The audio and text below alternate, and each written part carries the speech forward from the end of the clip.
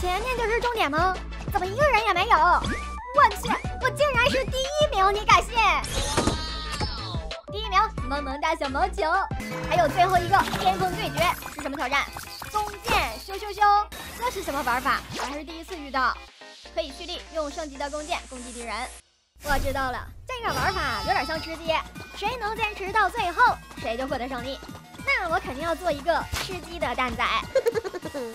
俗话说得好，不打无准备之仗，所以咱得制定个战术。哎，三十六计，打不过我就跑。溜了溜了溜了。咱还是当会儿伏地魔，坐山观虎斗，到时候坐收渔翁之利。这边上不太安全。哎呀，这碗卤肉饭，这身上插了这么多支箭，脑门上还被摁了两只。哎，都这造型了，还来招惹我？俗话说得好，君子报仇，十年不晚。等着，现在我就去找你。哎，人嘞？卤肉饭呢？哎，卤肉饭来了！不是吧？他们三个不会是一伙的吧？炸弹仔，快跑！啊，他把自己给炸嘎了。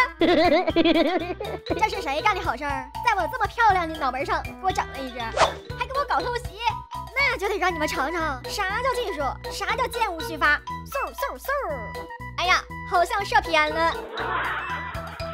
老玩炸弹仔，那就得让你们眼敌我。还有几个人？还有六个蛋仔，那除去我还剩五个。我的天哪，咱得主动出击了。俗话说得好，走别人的路，让别人无路可走。这个盾牌后边是不是藏着一个？走你！呀呼！这碗卤肉饭还在这蹦着呢，气我呢是吧？哎，这怎么还有个小乌云？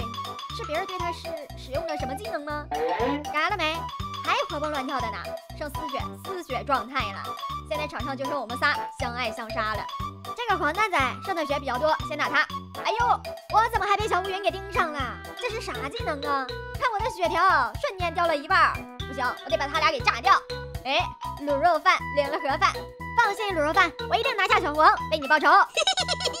趁着他在边上，赶紧把他弄出去。哎，还想跑？那我送你一张机票，要不要？我这身上是被插了多少支箭呢？都快成马蜂窝了。